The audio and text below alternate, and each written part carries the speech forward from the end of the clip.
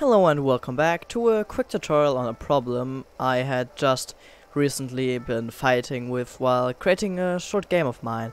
And is that when we use the tile map colliders and have a player that moves on top of them, you can see that it sometimes uh, just jumps up a bit as if they were rocks or if it wasn't just completely straight. And I'm going to tell you the reason why it is and a solution to it. Both of them quite easy and really really easy to implement and solve well the problem in your game.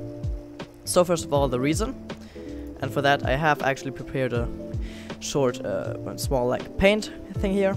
So here's our wonderful player um, and actually as you can see our tile map is made up of all of these uh, collider boxes here and the problem actually is that when our player here moves to the left or to the right, sometimes whilst he's in between these colliders, i.e. here, or here, or here, well then, the rigid body component thinks that it's actually at an edge or something like that.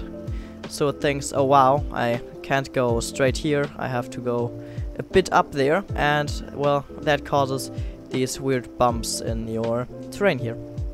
And the quick and easy solution for that would be to just make one huge collider box here and not multiple things here.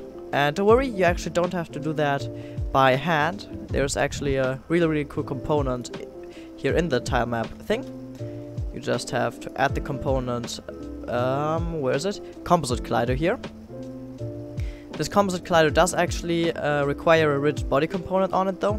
So just remember to go in here, set the freeze positions here and also just set the mass to something the zero and gravity scale to zero of that stuff so it doesn't actually interact with the environment that much and when you actually now go into the tile map collider here you can see used by composite and when it ticks this box you can see that it makes a huge collider around it and don't worry it's not just one big collider that's just here connected. You can also have um, something up here and it doesn't isn't connected down here, so your players can still move under that here.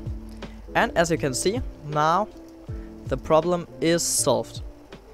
And yeah, that's it. It's a quick tutorial and I hope you have a lovely day. Goodbye.